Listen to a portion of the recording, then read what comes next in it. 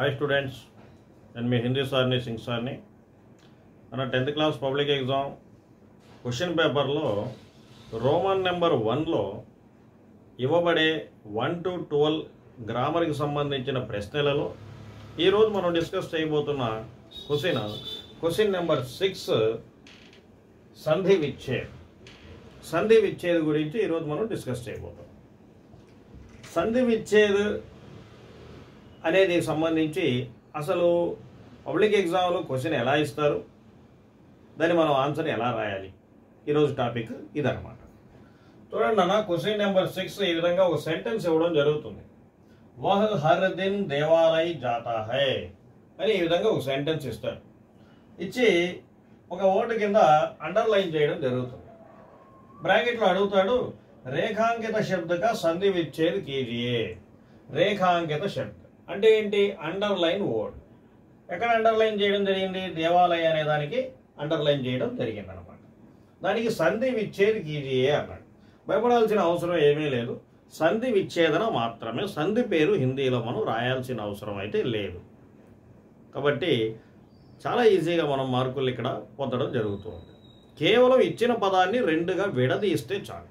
Options ఉండవు నాన్న. ఎటువంటి ఆప్షన్స్ ఉండవు. మనమే దాన్ని విడదీయాలి. విడదీయడం అంత కష్టమైన పనేం కాదు. చాలా ఈజీ. మీరు తెలుగు సబ్జెక్ట్లో అయితే ఈ సంధులకు సంబంధించి ఎన్నో పదాలని విడదీసే ఉంటారు. వాటికి సంధి పేర్లు కూడా రాసుంటారు తెలుగులాగే హిందీ కూడా. కాబట్టి చాలా ఈజీ అవుతుంది మీకు. చూడండి. ఒకటే నేను మూడే మూడు బాటలు చెప్తాను మీకు. మూడే మూడు బాటలు ఒక పదాన్ని రెండుగా విడదీయడం చేస్తాం మనం. ఒక పదాన్ని రెండుగా విడదీస్తాం.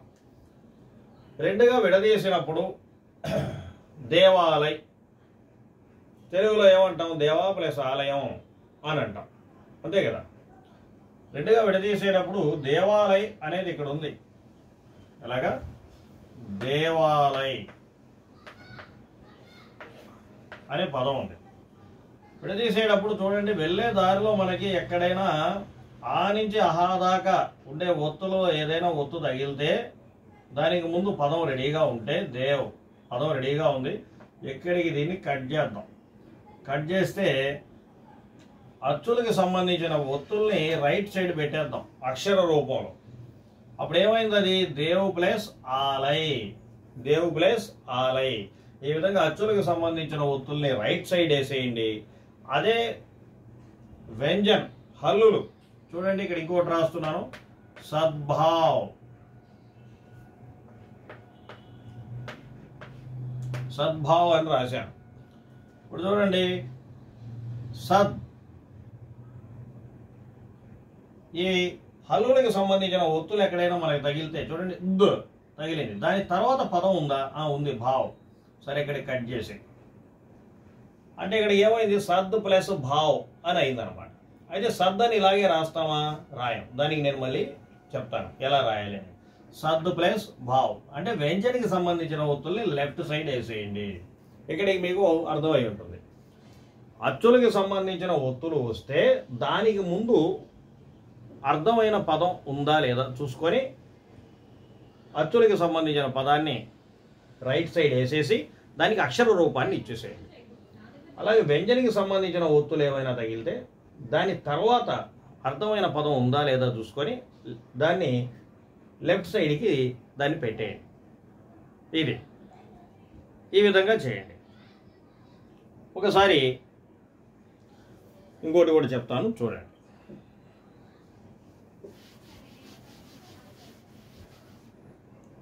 చూడండి నాన్న దా కానీ చాకి చా కానీ జాకి జా కానీ లాకి లా కానీ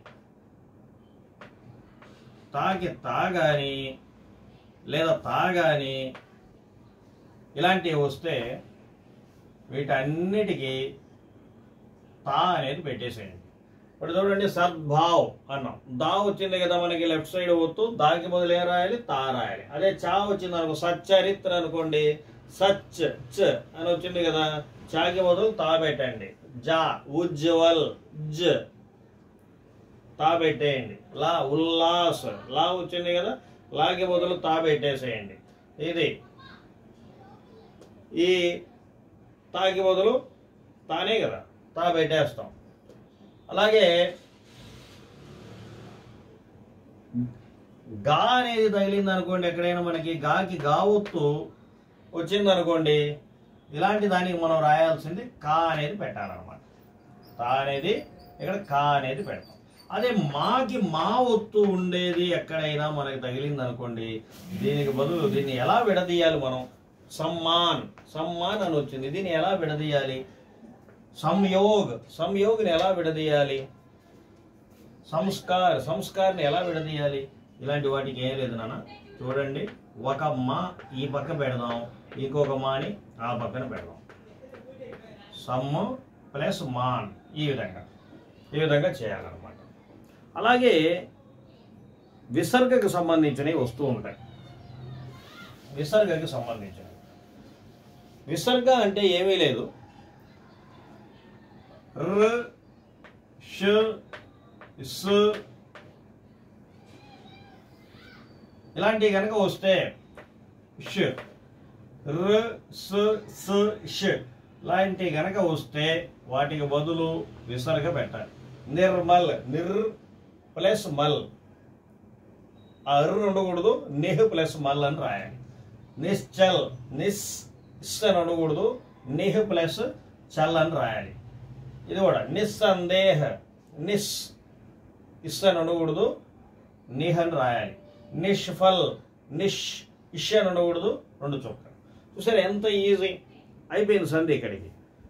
అచ్చులకి సంబంధించిన ఒత్తులు వస్తే అచ్చులకి సంబంధించిన ఒత్తులు వస్తే దానికి ముందు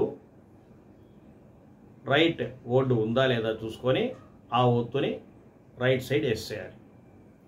అదే వ్యంజనికి సంబంధించి హల్లులకి సంబంధించిన ఒత్తులు వస్తే దాని తర్వాత అర్థమైన పదం ఉందా లేదా చూసుకొని దాన్ని లెఫ్ట్ సైడ్ పెట్టేయాలి. విసర్గకి సంబంధించి రు ఇలాంటివి కనుక తగిలితే ఎక్కడ? లెఫ్ట్ సైడ్ తగిలితే దాన్ని తీసేసి రెండు చుక్కలు పెట్టాలి. ఇంతేనా ఇంతకు మించి ఇంకేమీ లేదు. ఇక రెండోది ఏంటంటే ముఖ్యంగా కొన్ని పదాలని నేను ఇక్కడ మీకు ఇవ్వడం జరిగింది. వీటిని చక్కగా నేర్చుకోండి. మేబీ ఈ పదాల్లో నుంచి ఒక పదం రేపు ఎగ్జామ్కి ఉండొచ్చేమో. చెప్పలేం కదా. నేర్చుకుంటే మంచిది. చూడండి వాటిని విడదీసి కూడా ఆన్సర్ నేను చెప్తాను. జాగ్రత్తగా గుర్తుపెట్టుకోండి. సూర్యోదయ్. సూర్య ప్లస్ ఉదయ్. నిర్ధన్. निह प्लस धन। विद्यालय। विद्या प्लस आलय। पर्यावरण। परि प्लस आवरण। पुरस्कार। पुरह प्लस कार। मनोहर। मनह प्लस हर। बाल्यावस्था। बाल्य प्लस अवस्था। समर्पण। सम प्लस अर्पण। यद्यपि यदि प्लस अपि, सद्भाव। सत प्लस भाव। स्वराज्य। सु प्लस राज्य। निराशा। निह प्लस आशा। हिमालय। हिम प्लस आलय। मुनीन्द्र। मुनि प्लस इंद्र।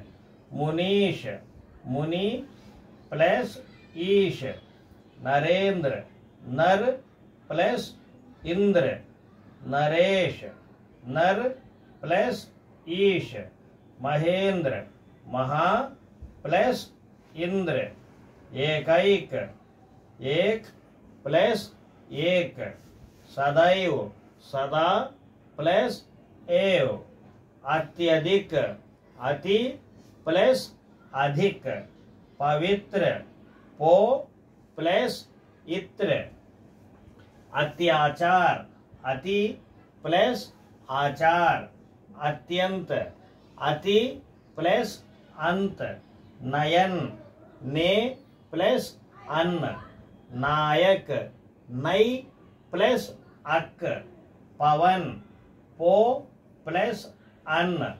पावन पौ प्लस अन्न सद्गुरु सत प्लस गुरु सच्चरित्र सत प्लस चरित्र सज्जन सत प्लस जन उल्लास उत प्लस लास संयोग सम प्लस योग सम्मान सम प्लस मान दिग्गज दिक्क, प्लस गज दुस्साहस, दुह, प्लस, साहस, निश्चल, निह, प्लस, चल, निर्मल, निह, प्लस, मल, निष्फल, निह, प्लस, फल, मनोबल, मनः, प्लस, बल, उन्माद, उत, प्लस, माद,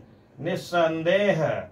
निह प्लस संदेह सद्गुण सत प्लस गुण उज्जवल उत प्लस ज्वल परमात्मा परम प्लस आत्मा सम्मुख सम प्लस मुख హితోపదేశ్ హిత్ ప్లస్ ఉపదేశ్ ఈ పదాలని జాగ్రత్తగా చదివి నేర్చుకోండి. మేబీ ఈ పదాలలో ఒక పదం రేపు పబ్లిక్ ఎగ్జామ్లో ఉండే అవకాశం ఉండొచ్చు. ఒకవేళ ఉండకపోయినా నేను ఇప్పుడు చెప్పిన ఈ పద్ధతి ప్రకారం అప్లై చేయండి.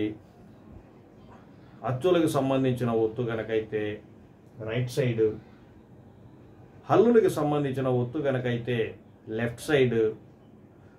అదే కాకుండా విసర్గకు సంబంధించి ఈ నాలుగు అక్షరాలు కనబడితే లెఫ్ట్ సైడ్. వాటికి విసర్గ పెట్టడం ఇలా అప్లై చేయండి. తప్పకుండా వన్ మార్క్ మీరే పొందుతారు. విజయం మీదే వన్ మార్క్ మీదే. నెక్స్ట్ సెవెంత్ మీట్తో నెక్స్ట్ వీడియోలో మళ్ళీ మీతో నేను కలుస్తాను. నేను మీ హిందీ సార్ని సింగ్ సార్ని.